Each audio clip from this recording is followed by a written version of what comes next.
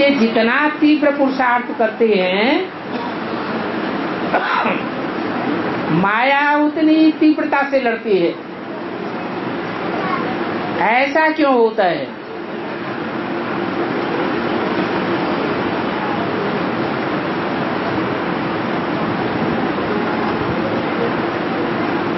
अभी ढाई हज़ार वर्ष की रील घूमती है या नहीं घूमती है? है? शूटिंग पीरियड चल रहा है तो शूटिंग में ये रील घूमती रहती है। तिरसठ जन्मों में जन्म बाई जन्म जो भी नया जन्म आता गया, हम ज़्यादा पाप करते आए हैं या कम पाप करते आए हैं? उत्तरोत्तर ज़्यादा पाप करते आए। अभी भी रील घूम रही है। तो हमारे पाप कर्म बढ़ रहे हैं या घट रहे हैं? पाप कर्म बढ़ रहे हैं। और बाबा ने माया को डायरेक्शन दिया है कि जो बच्चे श्रीमत के बरखिलाफ ज़्यादा पाप करते हैं, उनको माया तुम खूब फटकाओ।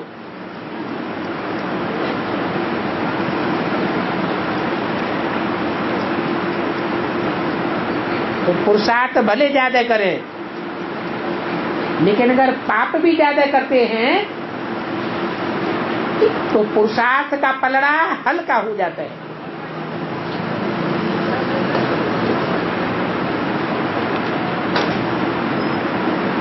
क्योंकि सौ गुना पाप चढ़ता है यहाँ। द्वापर कलयुग में जो पाप करते थे, वो एक गुना पाप चढ़ता था।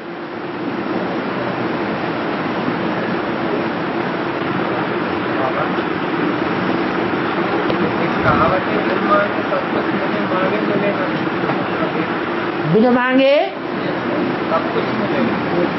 बिन मांगे मोती मिले मांगे मिले न धूर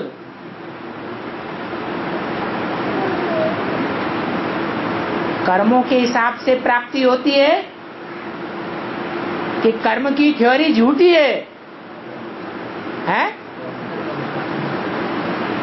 मांगने के हिसाब से प्राप्ति होती है या कर्म बंधन के हिसाब से प्राप्ति और दुप्राप्ति होती है? कर्मों का हिसाब किताब प्रबल है। इसलिए मांगने की बात नहीं है। अगर मिलना होगा तो पूर्व जन्म के प्रारब्ध से बिना मांगे भी बहुत कुछ मिल जाएगा। और सारी ज़िंदगी भीख मांगते रहे। तो भी मांगने से प्राप्ति नहीं होती। भगवान से तिरसठ जन्म मांगते रहे। प्राप्ति हुई क्या? नहीं प्राप्ति हुई।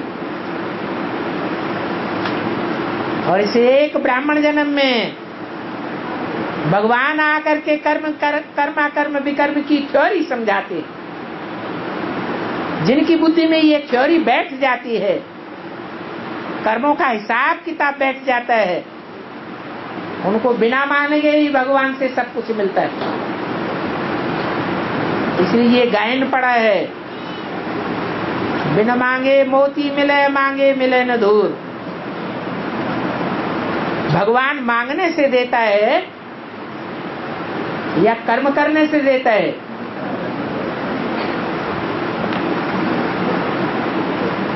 और भगवान तो कुछ देता भी नहीं, किसी से कुछ लेता भी नहीं। उसने तो हिसाब बता दिया है, थ्योरी बता दी। ऐसा करने से ऐसी प्राप्ति होगी, वैसा करने से वैसी प्राप्ति होगी। तो मांगने की बात ही नहीं रहती।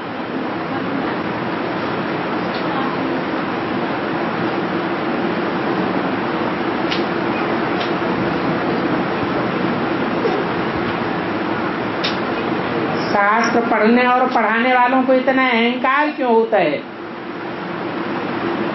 ज्ञान मार्ग में भी अहंकार होगा तो उनका क्या हाल होगा?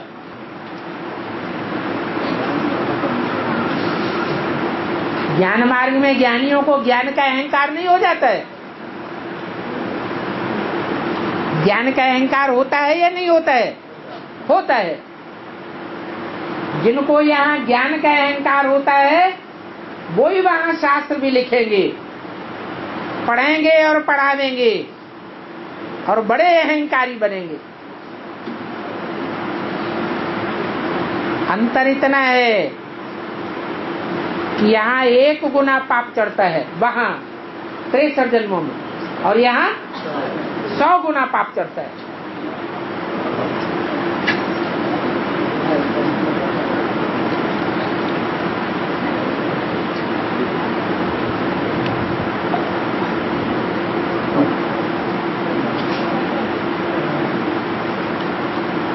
ऑक्यूपेशन का अर्थ है धंधा धूरी।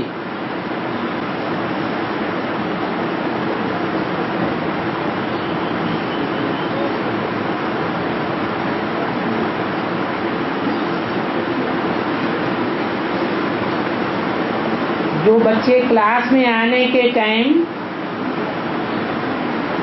पाँच दस मिनट में ही सोना शुरू कर देते हैं, उनको जगाना चाहिए कि नहीं जगाना चाहिए? उंगली भोंक के जगाना चाहिए या सहला के जगाना चाहिए? है? कोई कोई ऐसे होते हैं, धक्का मार के जगाते। धीरे से जगा देना चाहिए। उसमें भी अगर उनको अच्छा नहीं लगता है तो एक दो बार माफ़ कर दिया। बाद में छोड़ देना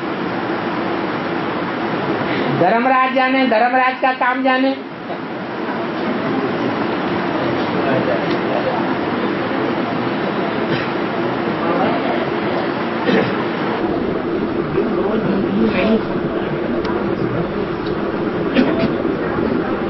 रोज मुस्लिम नहीं सुनते हैं वो समझे हम तीन तत्व के मालिक नहीं हैं वो दो तत्व के मालिक ही यथाशक्ति हैं हाँ ठीक है कौन कौन से तख्त हैं? यहाँ संगम युग में कौन कौन से तख्त हैं? अरे एक होता है बाप का दिल तख्त, एक होता है आत्मा का तख्त, और एक होता है राज्य का तख्त।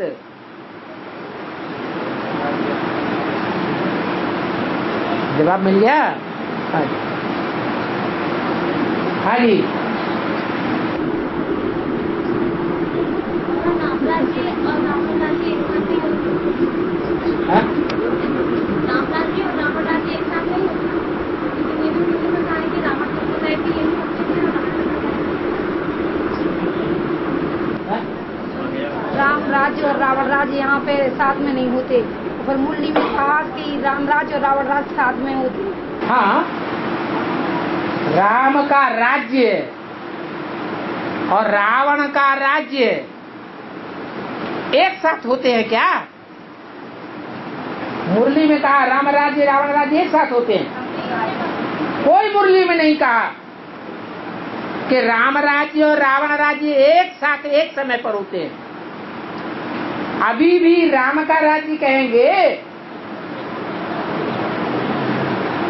मधुबन में माया रावण आता है या नहीं आता है? तो राम का राज्य है। जहाँ राम का राज्य होगा, वहाँ रावण माया प्रवेश भी नहीं कर सकेगी। सत्युग त्रेता में है राम राज्य और द्वापर कलयुग में है रावण का राज्य संगम युग में भी नरक की दुनिया के बीच स्वर्ग का वर्षा देता हूँ। जहाँ स्वर्ग का राज्य स्थापन होगा, नारकीय दुनिया के बीच, वहाँ रावण नहीं प्रवेश कर सकता है। माया प्रवेश नहीं कर सकती, मायावी संकल्प भी प्रवेश नहीं कर सकते।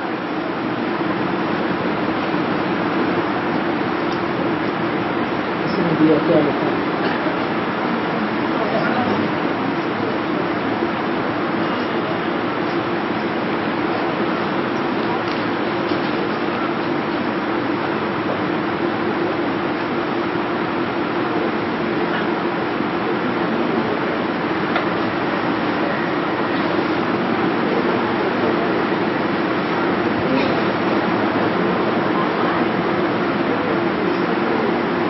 जहाँ गीता पाठशाला होते हुए भी ठीक से गीता पाठशाला नहीं चलती है तो क्या करना चाहिए? अरे, स्कूल कॉलेज भी चलते हैं तो सब ठीक से चलते हैं, या नंबरवार चलते हैं? नंबरवार चलते हैं। ऐसे यहाँ भी गीता पाठशालाएँ कोई सौ परसेंट ठीक से चलती है, कोई नहीं ठीक से चलती है। क्या करना चाहिए? बाबा को याद करना चाहिए।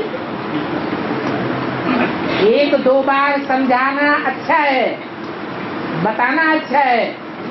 फिर कोई ध्यान नहीं देता है तो चुप रहना चाहिए हवा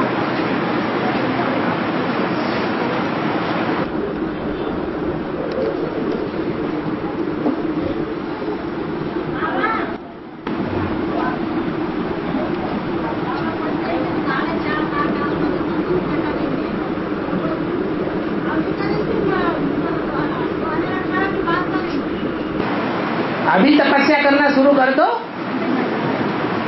तो लंबे टाइम का फल मिल जाएगा? अरे साढ़े चार लाख में तो आ जाओ। अभी शुरू कर देंगे तो साढ़े चार लाख में आ जाएँगे। शर्तिया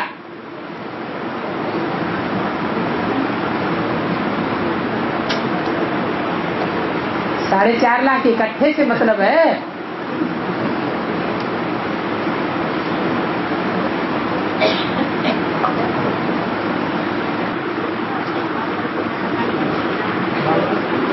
हाँ बाप बताते हैं हाँ ये थर्ड ग्रेड बंगला है हाँ उन बच्चों को शिक्षा का पूरा सबूत देना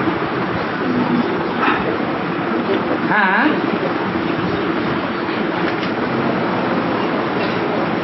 बाबा जिसे बता दें कि ये थर्ड ग्रेड बगुला है।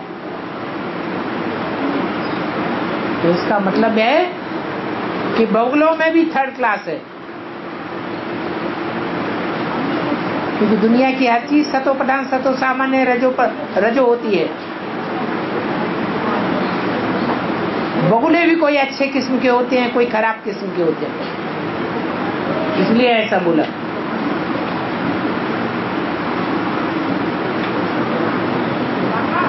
अरे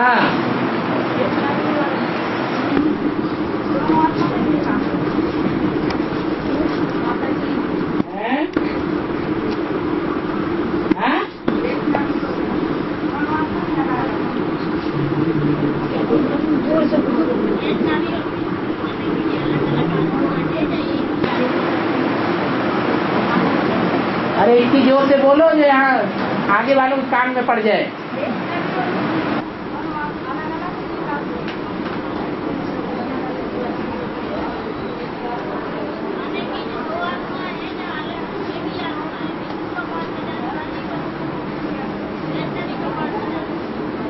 वैष्णवी का पाठ बजाने वाली, विष्णु का पाठ बजाने वाली दोनों आत्माएँ एक ही है कि अलग अलग हैं? विष्णु देवता का नाम है। और वैष्णवी स्त्री चोले का नाम है। वैष्णवी देवी को भी चार भुजाएँ दिखाते हैं। और विष्णु को भी चार भुजाएँ दिखाते हैं। इसका मतलब जहाँ वैष्णवी देवी दिखाई गई है, वहाँ दो आत्माएँ हैं। उनकी दो दो भुजाएँ हैं। लेफ़्ट की दो भुजाएँ राइट लेफ़्ट की दो भुजाएँ। माने दो माताएँ हैं। राइटियस और लेफ्टिस्ट दोनों के संस्कार मिलकर के जब एक होते हैं तो वैसे भी देवी बनती है। ऐसे ही विष्णु देवता भी तब बनता है, जब दो नारायण मिलकर के एक हो जाते हैं, संस्कार से। ब्रह्मा की आत्मा और राम की आत्मा।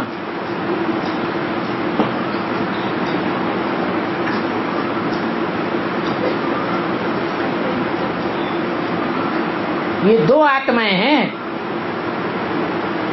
एक बनती है संगमयुगी नारायण।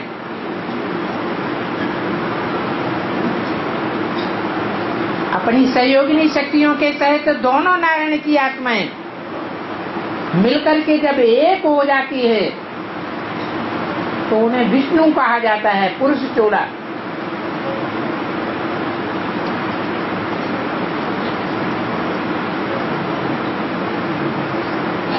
इसलिए बाबा ने बताया है कि विष्णु कोई एक आत्मा का नाम नहीं है। चार आत्माओं का कॉम्बिनेशन है। चार भुजाओं का कॉम्बिनेशन है विष्णु। और फिर उन चार भुजाओं को चलाने वाला भी चाहिए। तो पाँच भुजाएँ हो जाती हैं।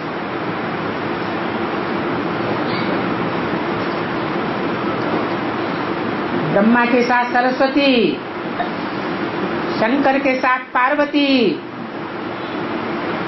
राम के साथ सीता, कृष्ण के साथ राधा। और जगदम्बा भी जुड़ी हुई है। इस तरह पाँच आत्माएँ हैं। ब्रह्मा के भी पाँच मुख गाए हुए हैं। इसलिए ब्रह्मा को पंचानन कहा जाता है। एक मुख काट दिया जाता है।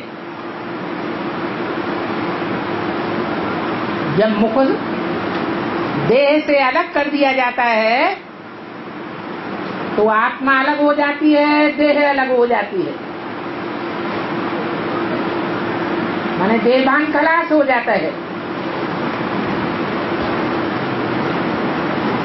जिसका देहभान खलास हो गया वही चलाने वाला है भुजाओं को।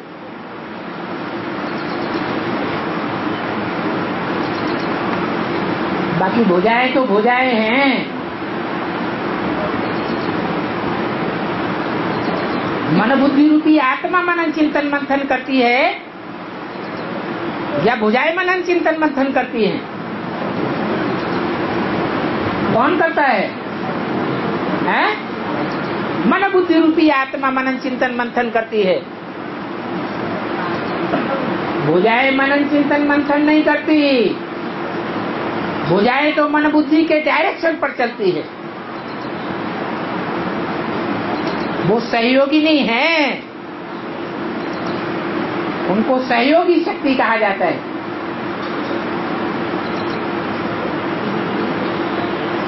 इसलिए बोला, ब्रह्मा तो बहुतों के नाम होते हैं। परंतु रचयिता के रूप में प्रजापिता ब्रह्मा एक है।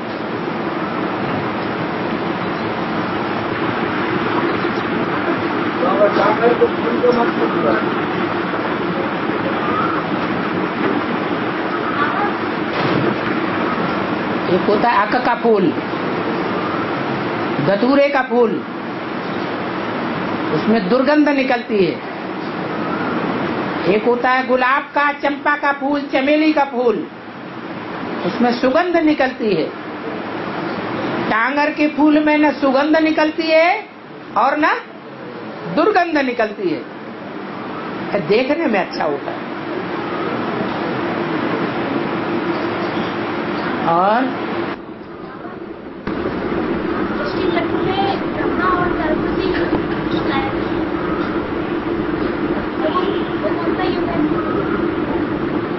बोलो बोलो बोलो। सृष्टि चक्र में ब्रह्मा और का चित्र जो बताया गया है वो किस पे कौन सा युग है सृष्टि चक्र में जो ब्रह्मा सरस्वती कांटों के बीच में बैठे हुए दिखाए गए। वो संगम युग है।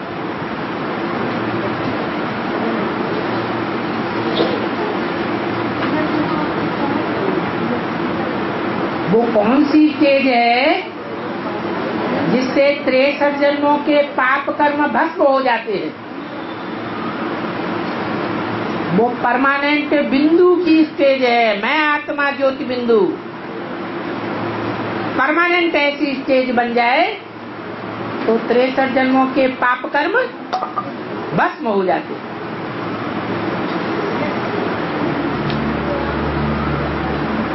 पूछा कुछ भी नहीं।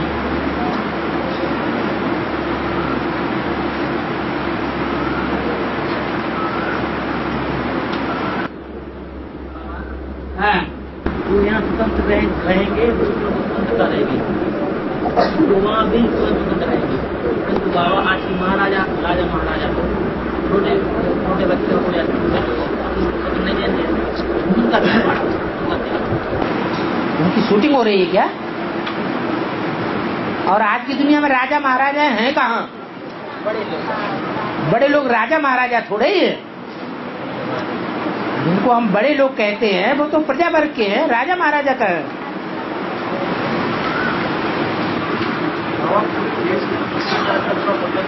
हैं? हाँ।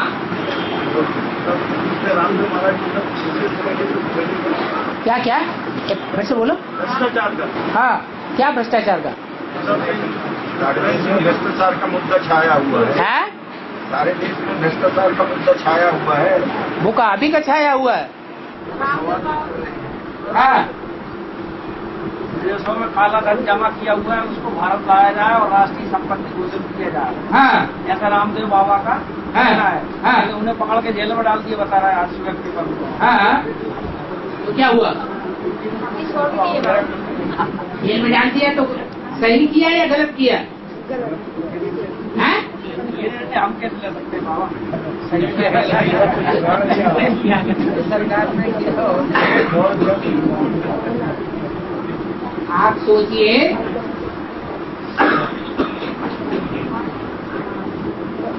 रामदेव जो दवाइयाँ बना रहे हैं,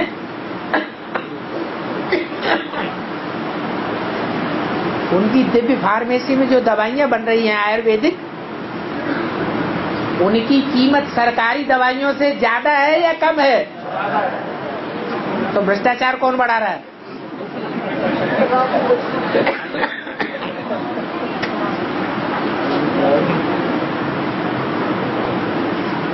बाबा ब्रह्मा यानी बड़ी माँ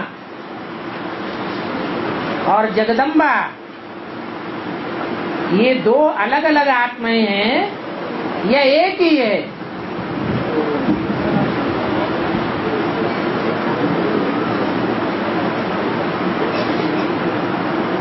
ये प्रश्न कोई नई आत्मा ने पूछा होगा या पुराने ने पूछा होगा?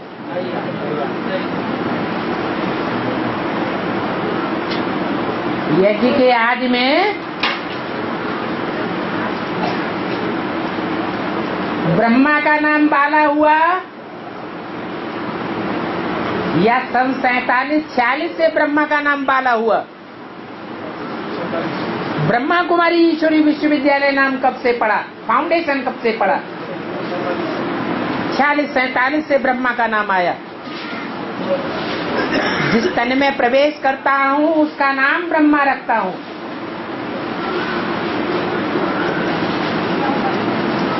फिर जब कराची से भारत में आए तो ब्रह्मा कुमारी ईश्वरी विश्वविद्यालय नाम पड़ा।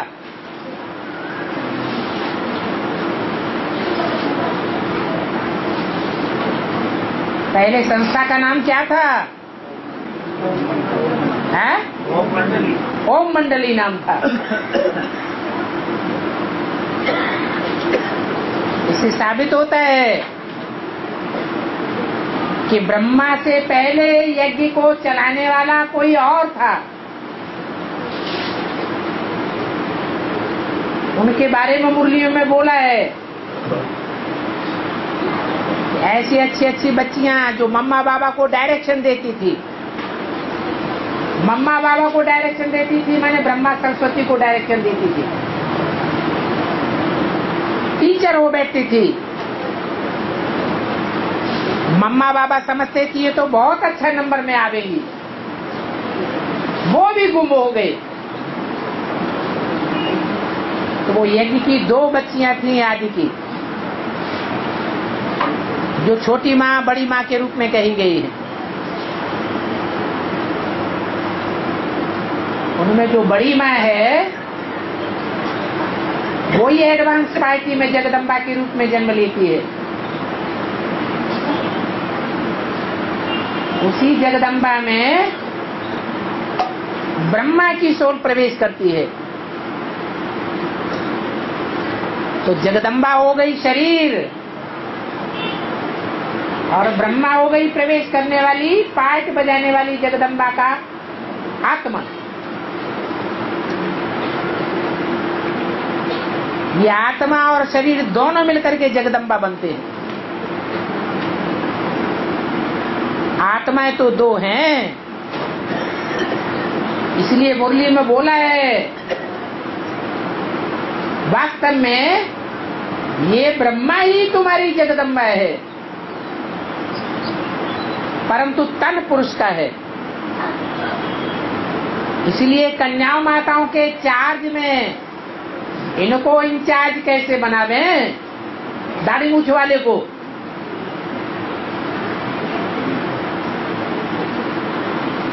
इसलिए मम्मा ओम राधे को इंचार्ज बनाया है। तो ओम राधे जगदम्बा नहीं थी, जगदम्बा का टाइटल था। जगदम्बा तो यज्ञ के आदि में वो ही माता थी। जो यज्ञ को चलाती थी डायरेक्शन देती थी। वो ही माता दोबारा जन्म लेकर के फिर एडवांस पार्टी में जगदम्बा के नाम रूप से प्रत्यक्ष होती है।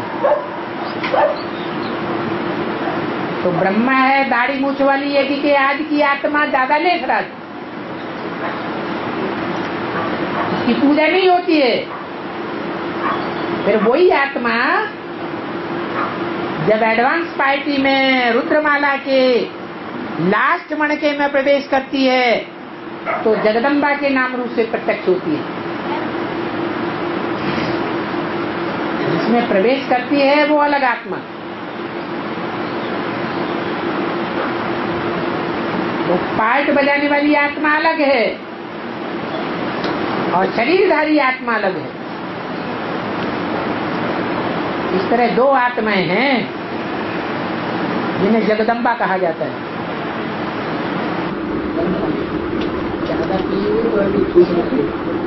बाबा जैसे मंदिरों में आसपास देवी देवता चित्र लगे रहते हैं। हैं? जैसे मंदिरों में आसपास देवी देवता चित्र लगे रहते हैं तो बीच में मेरी कान पे गंगा का चित्र लगाया जाता है। वो बीच में शिवलिंग जो मतलब लगा बनाया जाता है बीच में शिवलिंग रहता है। नहीं बीच में शिवलिंग बना रहता है। हाँ। ऊपर एक अगरी बाँध देते हैं जैसे बूंद बूंद पानी गिरता है उसका मतलब बेहद में क्या? जो शंकर का चित्र रखा हुआ है बाजू में, और देवताओं के साथ, वो ये साबित करता है कि वो पुरुषार्थी जीवन है जैसे और देवताएँ चारों ओर बैठे हुए एक को याद करते हैं, ऐसे ही शंकर भी याद में बैठा हुआ है किसकी याद में बैठा हुआ है जो सन्मुख बैठा हुआ है। शिवलिंग के रूप में। लेकिन जो शिवलिंग है, वो शंकर का परिपूर्ण रूप है। परिपूर्ण रूप का मतलब है निराकारी स्टेज वाला स्वरूप। जिस निराकारी स्टेज वाले शरीरधारी में वो ज्योति बिंदु प्रवेश है। शिव। लिंग है, साकार की यादगार।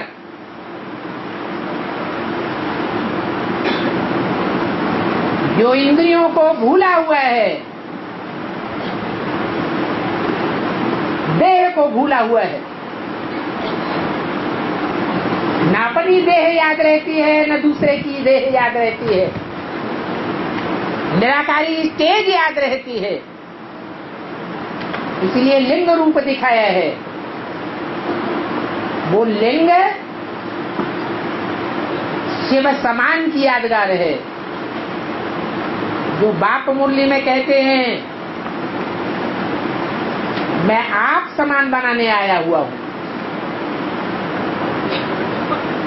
तो आप समान निराकारी, निर्विकारी, निरहंकारी सौ परसेंट एक बनेगा या सब बनेंगे? एक बनता है। जो एक बनता है, उसका नाम शिव के साथ जोड़ा जाता है। तैतीस करोड़ देवताओं का नाम नहीं जोड़ा जाता है। 500 700 करोड़ मनुष्य आत्माओं में से किसी का नाम नहीं जोड़ा जाता है। महात्माओं में से किसी का नाम नहीं जोड़ा जाता है। धर्म पिताओं में से भी किसी का नाम नहीं जोड़ा जाता है। एक शंकर का नाम जोड़ा जाता है शिव के साथ। वो भी शंकर जब याद की स्टेज से, पुरुषार्थ से संपन्न होकर, स्थायी स्टेज में स्थिर हो जाता है निराकार। बीज रूपी स्टेज में। तब उसकी यादगार बनती है शिवलिंग। जो शिवलिंग सदैव जलाधारी के अंदर दिखाया जाता है। ये पक्का प्रवृत्ति मार्ग है। अधूरा नहीं है। अधूरे तो सन्यासी होते हैं। जो थोड़े समय स्त्री के संग में आते हैं और निस्तेज हो जाते हैं छोड़ छाड़ के भागते हैं।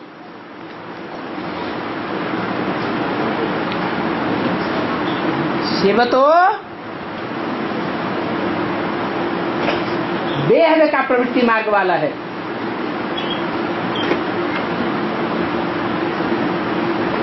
बेहद की प्रवृत्ति में रहते हुए भी कर्मेंद्रियों से कर्म में प्रवृत्त रहते हुए भी वो बुद्धियोग से निवृत्त रहते हैं। इसलिए उनकी पूजा होती है। और सबसे जाग की पूजा होती है। और देवताओं की लिंग की पूजा नहीं होती है। और शिव की सिर्फ़ लिंग की पूजा होती है। क्योंकि कहा जाता है, काम जीते जगत जीत। जिसने काम इंद्रियों को जीत लिया, उसने सारा जगत जीत लिया। और इंद्रियों को जीतना सहज है। काम को जीतना कठिन है। और वही काम केवल चल करके, द्वारा करके दिखाते हैं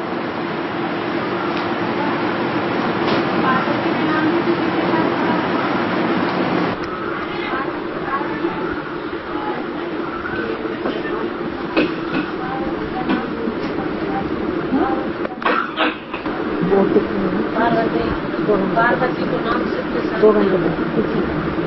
पार्वती का नाम शिव जी के साथ क्यों जुड़ा है पार्वती का नाम शिव जी के साथ क्यों जुड़ा है शिव पार्वती नहीं कहा जाता है, शंकर पार्वती कहा जाता है।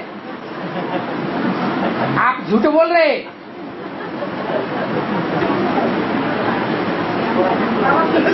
पार लगाने वाला शिव को पार लगाएगा या शंकर को पार लगा सकता है? है? शिव कभी डूबता है क्या? जो उसके पार लगाने की बात आए हाँ शंकर के लिए कह सकते हैं। शंकर को पार लगाने के लिए कौन चाहिए? पार्वती चाहिए। पार लगाने वाली। जब तक वो पार लगाने वाली न हो, तब तक वो भी संसार सागर से पार नहीं जा सकता। उसे पुरुषार्थ करते रहना पड़ेगा। पुरुषार्थ जीवन समाप्त नहीं हो सकता। अगर पार्वती सहयोगी न बने और पार्वतियाँ तो नंबर नंबरवार हैं। बाबा कहते, तुम सब पार्वतियाँ हो? तो सब सौ परसेंट पार लगाने वाली पार्वतियाँ हैं क्या? कि नंबरवार हैं। नंबरवार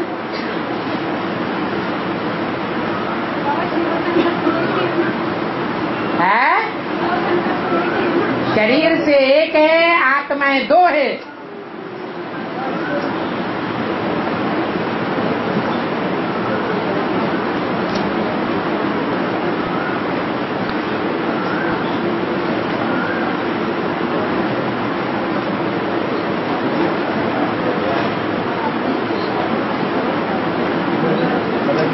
बाबा मेहनती से एक आत्मा निकली है और रोज संगठन करती है। तो वहाँ जाकर दस्तखत करें या न करें?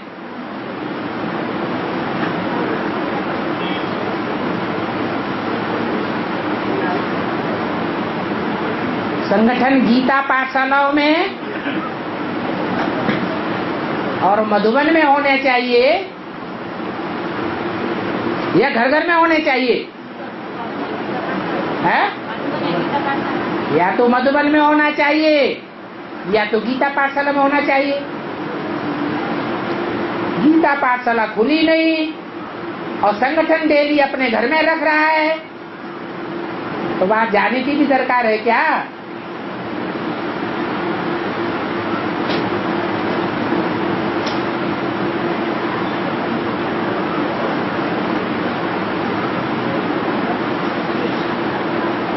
बाबा, जब जब बच्चों का मन करे तो बाबा से फ़ोन पर बात क्यों नहीं कर सकते?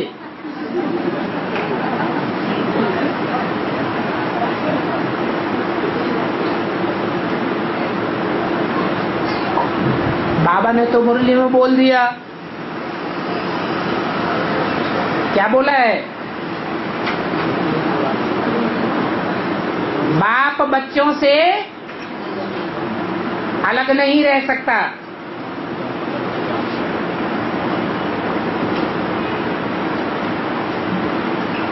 बच्चों के लिए बाप ने नई दुनिया रची है। बोला है कि नहीं बोला है? बोला है। नई दुनिया में बच्चों का आना जाना होता रहता है। तो जिनका आना जाना होता रहता है, उनको फ़ोन की कोई कमी है क्या?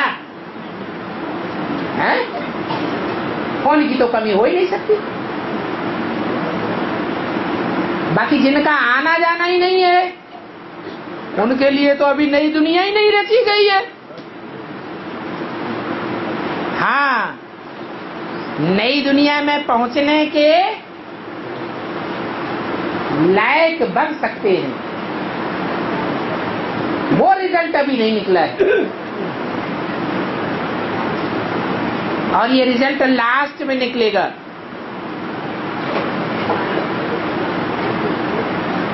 कितने बच्चे हैं? ज्ञान सूर्य शिव बाबा के कितने बच्चे हैं? साढ़े चार लाख। वो साढ़े चार लाख? बाबा के घर में रहेंगे या बाबा के घर से बाहर की दुनिया में रहेंगे? लास्ट में। घर में रहेंगे बाकी अभी तो नंबर वार हैं। कोई घर के बच्चे बने हैं, कोई नहीं बने हैं।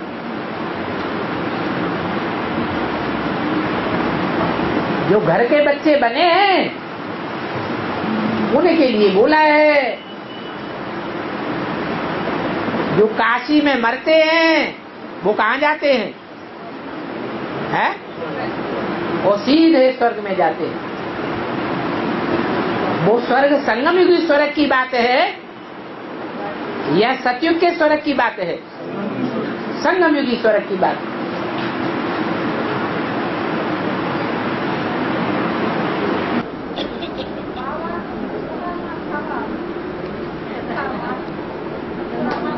सदर मास कब आओगे? कहाँ?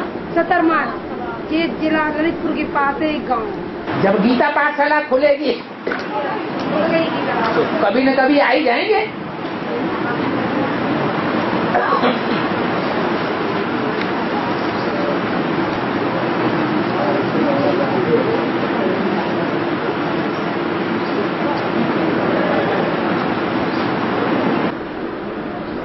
और टाइम है लो बाबा जो पिंडी उसको जो गर्मियों में मंदिरों में शिव मंदिर में बूंद पानी टपकता है हाँ। उसका नाम गलती रखा है। हैं? गलती कहते हैं गलती। हाँ। क्या है? जो गलती करते हैं उनको भक्ति करनी पड़ती है।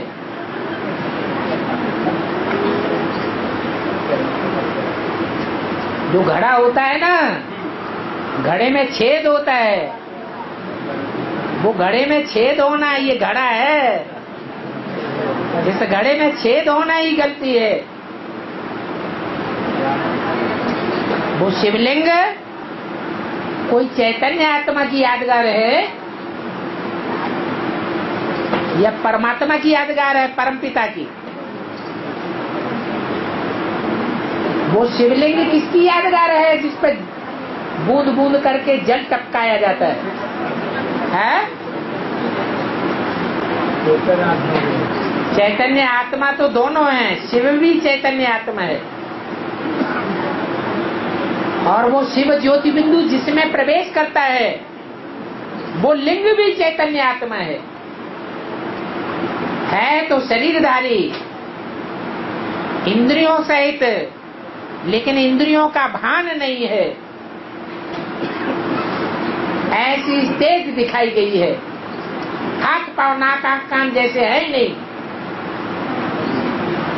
शिवलिंगों को हाथ पाव नाक कान होते हैं। नहीं होते।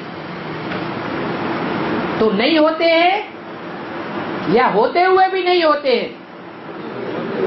होते हुए भी नहीं होते। जैसे बाबा ने कहा, देखते हुए भी नहीं देखो। दुनिया भी बातें सुनते हुए भी नहीं सुनो।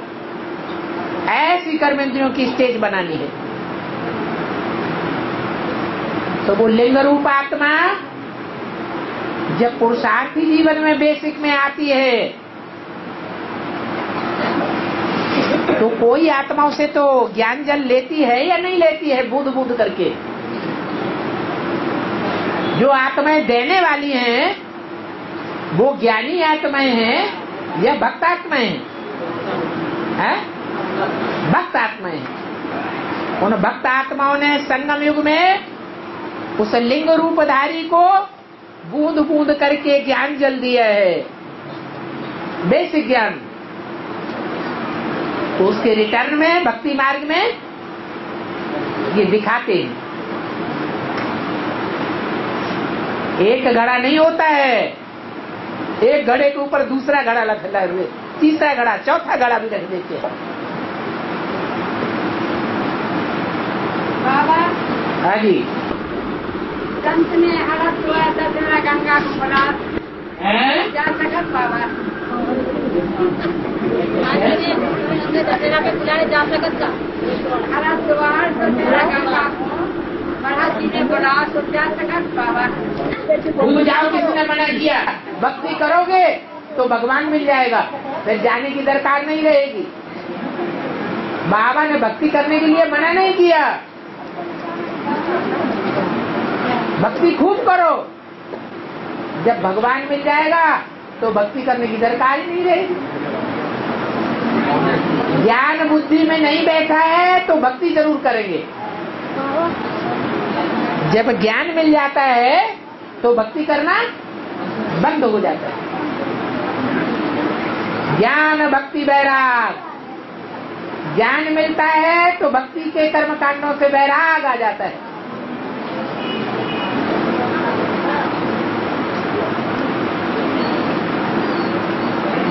बाबा, शेर खेरा गाँव का मतलब क्या है? वहाँ पर मुसलमान ही मुसलमान रहते हैं। केवल एक आत्मा ज्ञान में चलती है, और वो हिंदू है। तो सब आत्माएँ मुसलमान अज्ञानी है, और एक आत्मा ज्ञान में चलती है। तो जैसे कि सारी दुनिया एक तरफ़ और एक आत्मा दूसरी तरफ़। जंगल में शेर का क्या हाल होता है? सारे जंगल के प्राणी एक तरफ़ और जंगल का राजा दूसरी तरफ़। वो अकेला मुकाबला कर लेता है या हुजूम में रहता है? है? अकेला मुकाबला करता है। हाथी झुंड में रहते हैं। घोड़े झुंड में रहेंगे। गाय बैल झुंड में रहेंगे। बंदर झुंड में रहेंगे। और शेर? शेर जंगल में अकेला रहता है। तो उस गाँव का नाम क्या हो गया? खेर खेड़ा। खेड़ा माने खेत। खेत कहते हैं युद्ध भूमि को। किसकी युद्ध भूमि? शेर की युद्ध भूमि। तो शेर खेड़ा गाँव गलत निकला या सही निकला? है? सही निकला।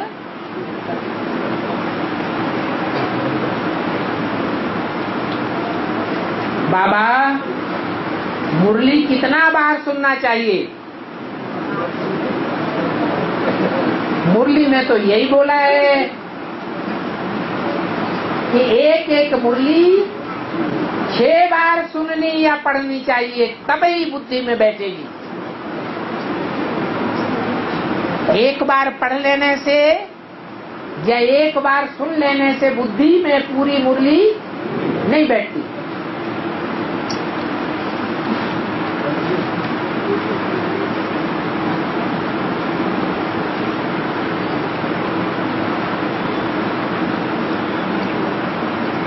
और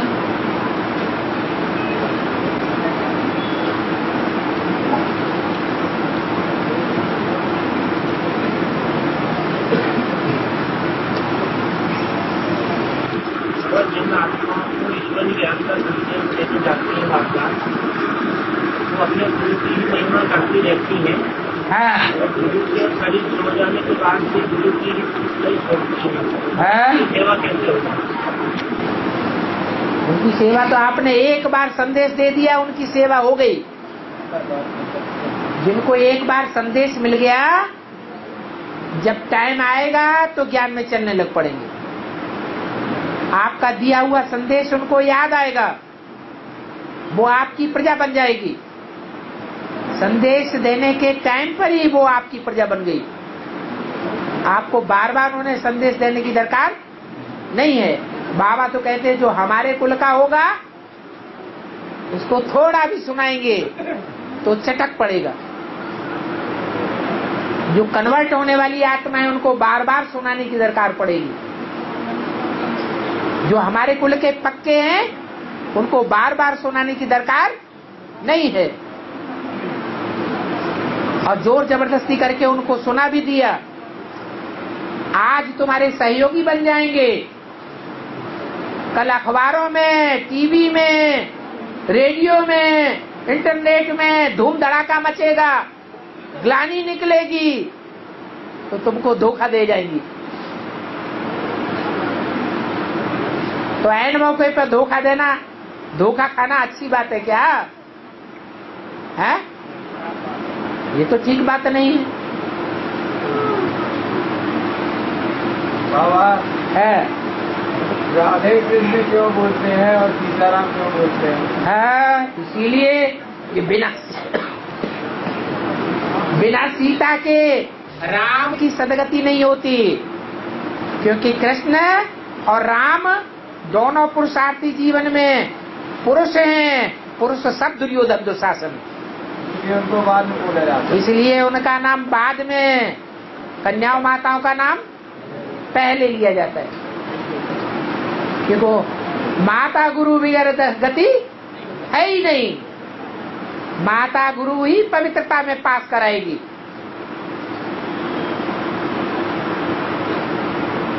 ये पुरुष गुरुओं ने तो लुटिया डुबोई है, या पार लगाया है?